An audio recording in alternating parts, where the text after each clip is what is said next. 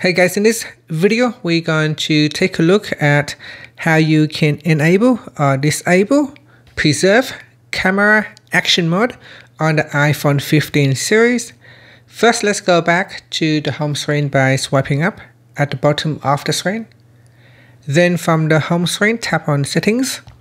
Now in the settings page, we scroll down and in here, tap on camera. Next, tap on preserve settings, then go down and tap on action mode toggle button. Tap on the toggle button to turn it on or switch off. When action mode is turned on, the camera can preserve the action mode settings rather than automatically reset to action mode turn off. And that's it. After you can tap on the back key to go back to settings, swipe up to go back to the home screen. Thank you for watching this video. Please like and subscribe to my channel for more videos.